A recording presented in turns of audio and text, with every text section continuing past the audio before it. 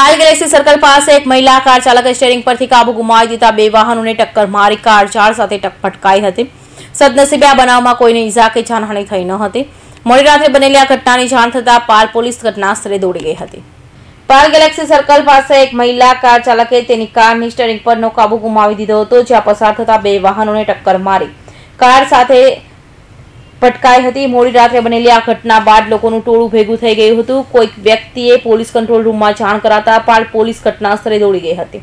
સદનસીબે આ બનાવમાં કોઈને ઈજા કે જાનહાની થઈ ન હતી, તેમજ મહિલા કાર ચાલકોને પણ બચાવ થયો હતો.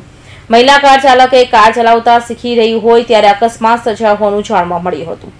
ઘટનાસ્થળે દોડી ગયેલી પોલીસે તપાસ શરૂ કરી હતી જોકે મોડી રાત સુધીમાં મામલે કોઈ પોલીસ ફરિયાદ નોંધાવી ન હતી. Bureau report Hind TV news Surat.